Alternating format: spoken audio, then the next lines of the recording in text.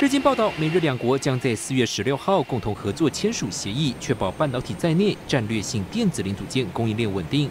工研院产业分析师杨瑞玲分析，美日半导体同盟将在电池、电动车、新时代半导体、绿能领域合作，同时拉开与竞争对手中国的差距。在电动车的领域，甚至电动车领域里面相关的重要的一些功率的元件或者功率的半导体。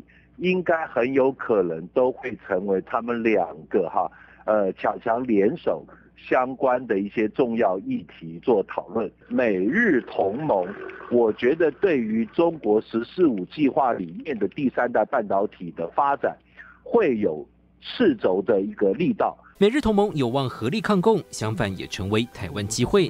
第三代半导体技术，包括碳化系、氮化镓，都需要台湾细基产业的制造实力，与太空科技、量子电脑是息息相关。其实还有另外一块，或许也是美日这一次讨论的一个重点，就是所谓的量子电脑。那那先进制造来讲，哈，毕竟我们台湾哈。还是最能够把很多新兴的半导体的元件或者技术落地的一个很重要的一个国家，所以我觉得，其实在未来半导体产业的长期发展，呃，无论如何哈，美国跟日本一定还是会邀请台湾。一起跟他们共同发展。台湾必须积极争取加入美日之间同盟，对第三代半导体技术将有加成力道。如果能够稳固脚步，届时也能支援全球在太空领域低轨道卫星发展。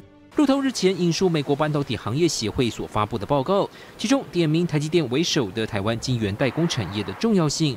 如果台湾停止供应晶片一年，全球电子业营收将减少多达十四兆新台币。换言之，地位几乎难以取代。新台的电视沈维彤，台湾台北报道。